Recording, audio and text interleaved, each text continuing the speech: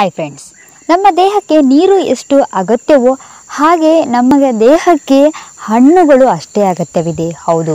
ನಮ್ಮ ದೇಹದಲ್ಲಿ ನೀರು ನಾವು ಎನಿ ಟೈಮ್ ಕುಡಿಯೋಕ್ಕಾಗೋದೇ ಇಲ್ಲ. ಹಾಗಂತ ಹೇಳಿ ನಾವು ಬಿಡೋಕ್ಕಾಗೋದಿಲ್ಲ.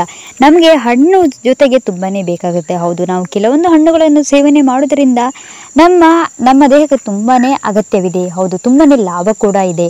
ಕೆಲವೊಂದು ರೋಗಗಳಿಂದ ನಾವು ದೂರವಿರಬಹುದು.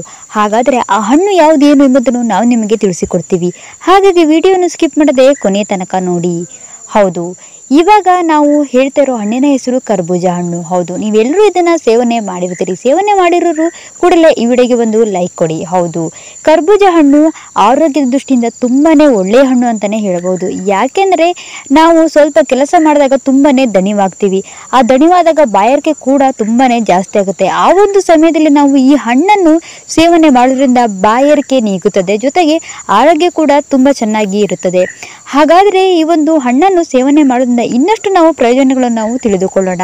ಯಾಕೆಂದರೆ ಈಗ ನಮಗೆ ದೇಹಕ್ಕೆ ಸಾಕಷ್ಟು ನೀರಿನ ಅಗತ್ಯವಿರುತ್ತದೆ. ಹೌದು, ನಾವು ಸ್ವಲ್ಪ ಕೆಲಸ ಮಾಡೋದಕ್ಕೆ ಎಲ್ಲದಕ್ಕೂ ಸಹ ನೀರಿನ ಅಗತ್ಯತೆ ತುಂಬಾ ಇರುತ್ತದೆ. ಮತ್ತು ದೇಹದಲ್ಲಿ ಹೆಚ್ಚು ಬೆವರು ಹೋಗುತ್ತದೆ. ಹಾಗಾಗಿ ನಮ್ಮ ದೇಹಕ್ಕೆ ತುಂಬಾ ಶಕ್ತಿ ಬೇಕು. ಆ ಒಂದು ಸಮಯದಲ್ಲಿ ಪ್ರತಿ ಬಾರಿ ನಾವು ನೀರನ್ನು ಕುಡಿಯಲು ಆಗುವುದಿಲ್ಲ. ಆವಾಗ ನಾವು ಸ್ವಲ್ಪ ಪ್ರಮಾಣದಲ್ಲಿ ಲಿಕ್ವಿಡ್ ಫುಡ್ಗಳನ್ನು ತೆಗೆದುಕೊಳ್ಳಬೇಕು. ಅಂದರೆ ಈ ಹಣ್ಣುಗಳನ್ನು ತೆಗೆದುಕೊಳ್ಳಬೇಕು. ಹಣ್ಣುಗಳು, ಹಣ್ಣು ಹಂಪಲುಗಳನ್ನು ಸೇವನೆ ಮಾಡೋದ್ರಿಂದ ನಮ್ಮ ದೇಹ ತುಂಬ ಶಕ್ತಿಯುತವಾಗಿ ಇರುತ್ತದೆ. ಅದರಲ್ಲೂ ಈ ಕರ್ಬೂಜ ಹಣ್ಣನ್ನು ಸೇವನೆ ಮಾಡೋದ್ರಿಂದ ನಮ್ಮ ಬಾಯಕಿಯನ್ನು ನೀಗಿಸುತ್ತದೆ, ನಮ್ಮ ದೇಹಕ್ಕೆ ಶಕ್ತಿಯನ್ನು ಒದಗಿಸುತ್ತದೆ, ಮತ್ತು ಹೆಚ್ಚಿನದಾಗಿ ನಮ್ಮ ರೋಗ ನಿರೋಧಕ ಶಕ್ತಿಯನ್ನು ಕೂಡ ಹೆಚ್ಚಿಸುತ್ತದೆ. ಹೌದು, ಈ ಒಂದು ಹಣ್ಣಿನಲ್ಲಿ ರೋಗ ನಿರೋಧಕ ಶಕ್ತಿಯನ್ನು ಹೆಚ್ಚಿಸುವಂಥ ಗುಣ ತುಂಬಾ ಇದೆ. ಮತ್ತು ಇದರಲ್ಲಿ ವಿಟಮಿನ್ ಸಿ ಎನ್ನುವ ಅಂಶ ಪ್ರಮುಖವಾಗಿ ಇದೆ. ಹೌದು, ಹೆಚ್ಚಿನದಾಗಿ ಇದರಲ್ಲಿ ವಿಟಮಿನ್ ಸಿ ಇದೆ.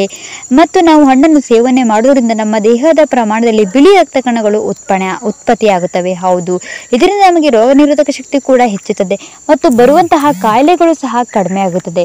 ಸೊ ನೋಡಿದ್ರಲ್ಲ ಫ್ರೆಂಡ್ಸ್ ಈ ಒಂದು ಹಣ್ಣಿನಿಂದ ಎಷ್ಟೆಲ್ಲ ಪ್ರಯೋಜನಗಳನ್ನು ನಾವು ಪಡೆದುಕೊಳ್ಳಬಹುದು. ಹಾಗಾಗಿ ಈ ಹಣ್ಣನ್ನು ಸೇವನೆ ಮಾಡಿ.